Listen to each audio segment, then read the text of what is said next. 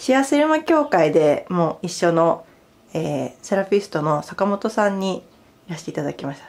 えっ、と日本シアバターセルマ協会のエアホーレンの坂本です。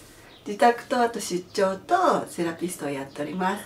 今日は、えーと、月に一度花田さんのところに背中トリートメントをしてもらいにやってきました。よろしくお願いします、はい、よろしくお願いします。もう3度目とかですかね。そうですね、ね、何度もいらしていただいてて、ね、すごく、はい、あのやってもらった後、はい、すごい楽なんですよ。もうねあの飛んで帰るような感じで。ルンルンでね。あの来た来る時と帰ると全然違う感じですね、はい、あありがとうございます。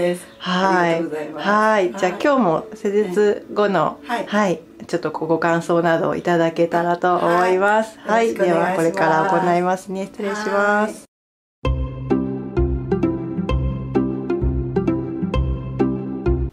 れ様でした。ありがとうございました。はい。すごいすっきりしました。あありがとうございます、なりましたね。はい。背中あたり。はい。終わりに整体もやっていただいて。そうですね。ちょっと整体も。はい。だいぶ体が硬いと思います、はい、そうですね、はい、結構やっぱ腰のところが硬さとか冷え感が強かったですね、うん、そうですね。はい。すっきりしました。よかったです。違いますね。はい。ありがとうございます。ありがとうございます、はい、またよろしくお願いします、ま、お願いします。ありがとうございました